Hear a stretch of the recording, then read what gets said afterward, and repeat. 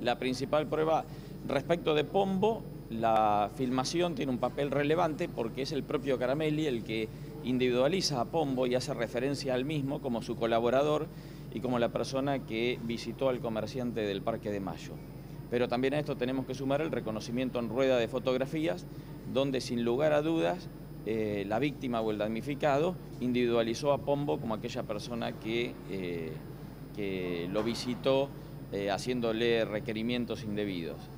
Y en cuanto a Caramelli, hay más elementos de prueba, está la propia declaración de la víctima, está la filmación donde se lo ve a él recibiendo el dinero, y el, propio reconocimiento que hace Caramelli en su declaración eh, de haber recibido ese dinero. A partir de la denuncia que constó justamente este material fílmico, ¿aparecieron después, doctor, más personas afectadas eh, por eh, este accionar de Caramelli? Bien, nosotros después, en el curso de esta investigación, llegó a conocimiento de la Fiscalía la existencia de otro hecho que también involucraba a Caramelli, quien había pedido dinero a personas que formaban parte de la Asociación de Bicicross de Bahía Blanca para la realización de tareas que en principio deben ser realizadas por la municipalidad como parte de su servicio. Eh, Sorzano, ¿se pudo establecer si esta práctica la venían sosteniendo desde hace un tiempo, previo a las denuncias? La Fiscalía ha investigado y sigue investigando este tema, por lo cual eh, entiendo que por ahora tenemos que ser cautos y seguir trabajando en el tema. Indirectamente este juicio se relaciona con la causa Dayana. Digo, el primer testigo de este juicio va a ser la señora Lorena Cerneri, quien dice que Caramelli decía que era el dueño de los árboles del parque. A ver, eh, la señora eh, Cerneri se presentó como particular damnificado en la causa donde se investiga eh, las circunstancias que llevaron al fallecimiento de Diana Herley, su hija. dentro de su labor como particular damnificado, lógicamente pudo llegar a conocimiento la existencia de este hecho. Y es así que lo pone en conocimiento en su momento del fiscal de USAIDE. El fiscal general dispone eh, la intervención de la Fiscalía de Delitos Complejos, se inicia la causa y eh, después continuamos investigando nosotros. La, tarea de la señora Sarney seguramente eh, fue relevante porque llegó a conocimiento de ella todas estas circunstancias por esa labor que venía haciendo, hizo lo que correspondía hacer es que ponerlo en conocimiento de los funcionarios judiciales. ¿La carga pública de Caramel y de Pombo agrava su situación al margen de las acusaciones o es indistinto?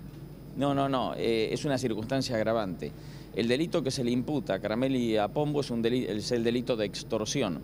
El delito de extorsión puede ser cometido por cualquier persona. Lógicamente, el hecho de que lo haya cometido un funcionario público debe ser tenido en consideración como una circunstancia agravante. Esclarecer absolutamente los hechos, que no tuvo participación en los mismos y oportunamente obtener su absolución.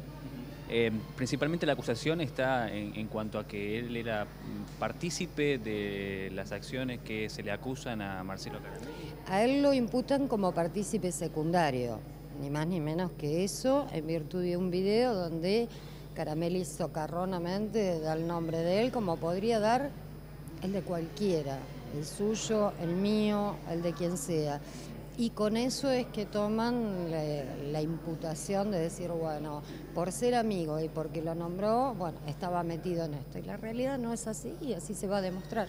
No aparecen imágenes, por ejemplo, a diferencia así de, de, No, es que no puede aparecer imágenes porque no sucedió lo que se está sosteniendo desde el Ministerio Público o lo que sostuvo el denunciante. No sucedió eso y así va a quedar esclarecido. Doctora, por esa razón es que justamente llega... Eh, escarcelado, mejor dicho, eximido de, prisión. Es que nunca se pidió su detención, no había motivos para requerirla y entendemos que así va a quedar esclarecido todo.